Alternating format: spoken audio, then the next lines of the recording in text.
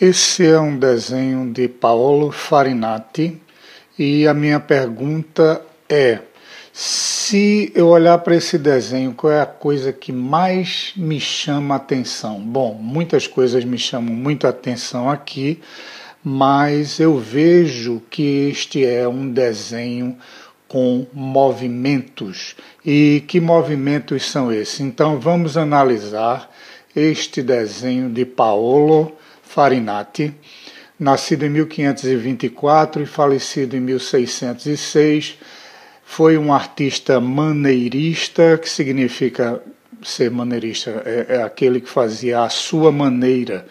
Ele deixou muitos desenhos em um papel com esse marrom tonificado. Nesse marronzinho, uma sépia diluída, sépia é essa cor amarronzada, e ele deixou muitos desenhos onde ele primeiro tracejava com uma espécie de grafite para a época, não é, uma ponta de prata e depois fazia um desenho com pena com essa tinta marrom chamada de sépia.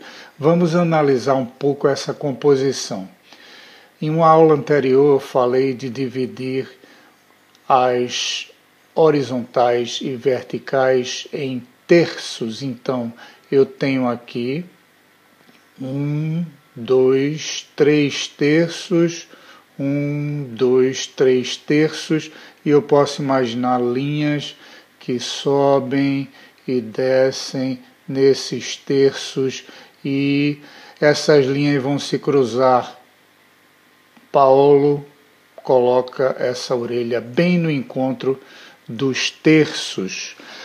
O espaço desse desenho é muito raso. Veja que a coisa mais na frente é esse cajado aqui, mas logo depois o joelho, e nós podemos ver uma distância, existe uma pequena distância entre esse ponto do cajado e o joelho, e desse joelho aqui para a mão da outra figura, o espaço é muito raso. Então, isso é um desenho que está sendo empurrado para frente e podemos também notar que no geral, nós temos um grande retângulo aqui atrás, ocupado por essa figura, e aqui na frente nós temos essa segunda figura, essa mais próxima, fazendo um triângulo. Então, nós temos um triângulo para uma figura e um retângulo para a figura um pouco mais atrás. A luz, ela entra de cima para baixo, da esquerda para a direita, pela diagonal, veja essa diagonal, e essa diagonal coincide com a colocação do corpo dessa figura e a perna dela. Essa figura está claramente nesta diagonal. Os terços se encontram aqui.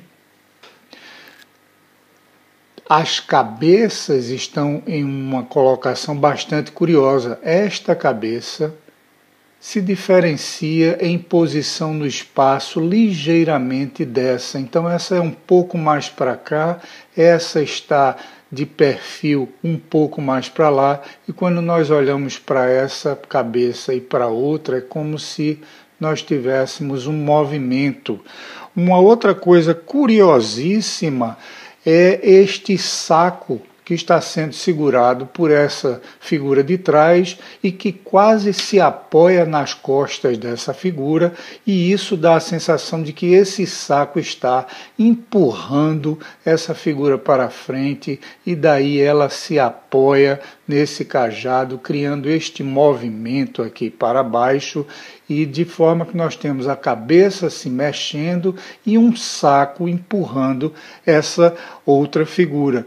Isso me, me chama muita atenção, esse movimento que ele consegue criar aqui dentro do campo visual, um movimento delicado que brinca com essas cabeças e que também cria esse saco empurrando que eu sou Plínio Santos Filho e me envie um e-mail, me envie um e-mail, está aqui o meu e-mail para que nós tenhamos conversas sobre desenho e eu possa lhe mandar outras informações.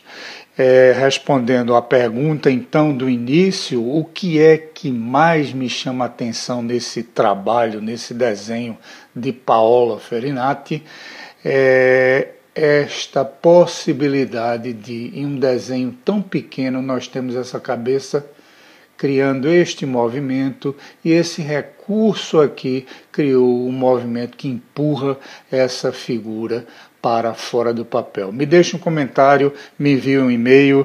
Até a próxima postagem.